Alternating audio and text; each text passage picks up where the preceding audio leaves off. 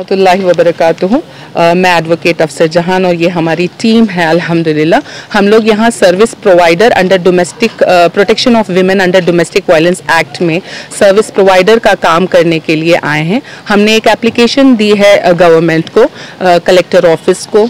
और district welfare officer को protection officer को और होम मिनिस्टर साहब को कि हम सर्विस प्रोवाइडर का काम करेंगे इस एक्ट के तहत। सर्विस प्रोवाइडर का काम दरअसल ये होता है कि वो विक्टिम को, चाहे वो वाइफ हो किसी की या फिर माँ हो बेटी हो बहन हो अगर वो डोमेस्टिक वायलेंस का शिकार हैं तो सर्विस प्रोवाइडर उसको शेल्टर होम में मद, की जो है शेल्टर होम से मदद देगा मेडिकल एड दे के मदद देगा और लीगल एड दे के मदद करेगा। फाइनेंशियल असिस्टेंस की भी कभी ज़रूरत पड़ती है तो हम वो भी मदद करते हैं।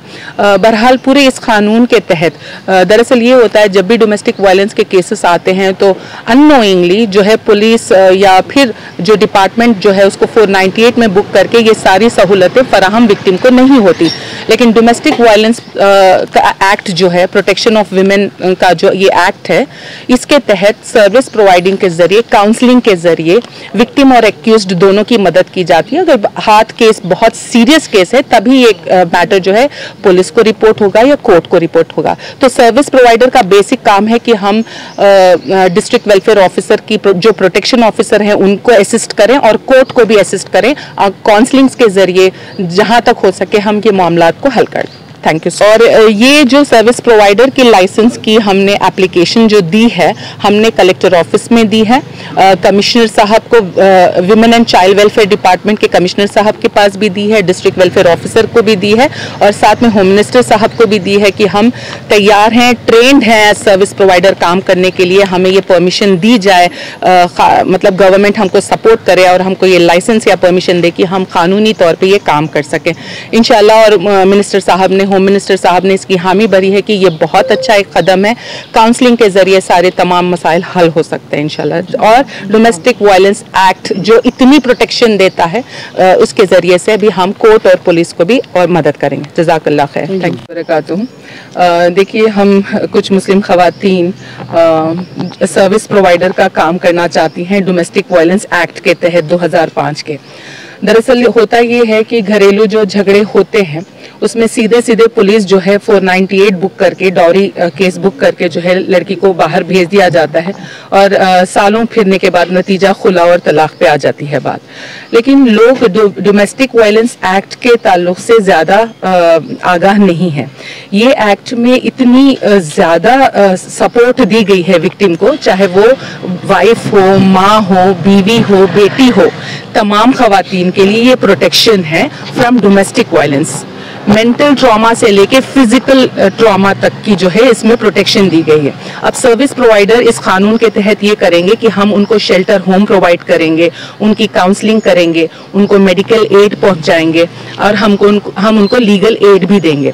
ज़्यादातर ये एक्ट कहता है कि काउंसलिंग के ज़रिए ये मसाइल हल कर दिए जाएँ और जब काउंसलिंग के बाहर मतलब उसके बावजूद कुछ इतनी सीरियस इशू होती है तो तब जाकर वो मामला कोर्ट या पुलिस तक जाएगा।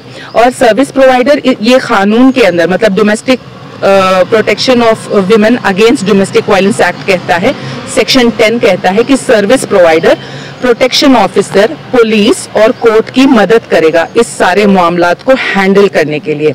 काउंसलिंग से शुरू होती है शेल्टर प्रोवाइड करने से शुरू होती है मेडिकल एड देने से ये सारी असिस्टेंस सर्विस प्रोवाइडर करेंगे। तो हम खातन, ये जो मेरे साथ हमारी टीम है, अल्हम्दुलिल्लाह, ये बाकायदा इन्होंने काउंसलिंग की ट्रेनिंग भी ली है।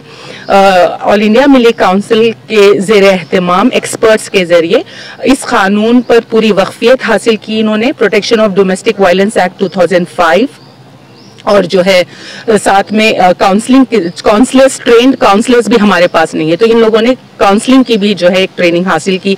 खुद इनकी पर्सनालिटी डेवलपमेंट की भी ट्रेनिंग हुई है। तो हम वी आर ऑल सेट कि हम इस तरह की सर्विस प्रोवाइड करें और यही एप्लीकेशन देने के लिए हम यहाँ होम मिनिस्टर साहब के पास आए थे, जिन, जो उन्होंने बहुत सराहा और उन्होंने पूरी मदद करने की हमें हामी भरी है। ये जो लेटर गया है, हमने कलेक्टर ऑफ़िस में भी दिया है।